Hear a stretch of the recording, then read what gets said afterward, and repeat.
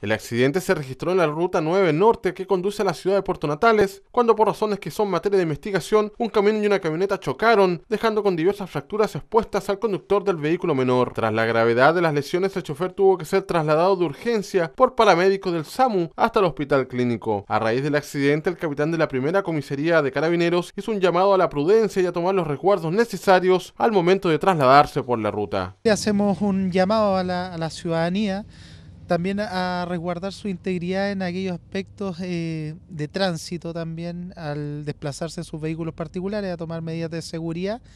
ya que eh, tuvimos una escarcha reinante hace unos poquitos días atrás, lo cual implicó que tuviéramos varias colisiones, choques y otro tipo de accidentes de tránsito en la ciudad. Y esto es debido también a hacer el llamado a la precaución, al uso correcto, a, a, minimizar los riesgos. Mucha gente dice si es necesario el uso de neumáticos con clavos o siliconados, a lo cual nosotros hacemos un llamado que todo medio que se pueda adoptar para minimizar y reducir los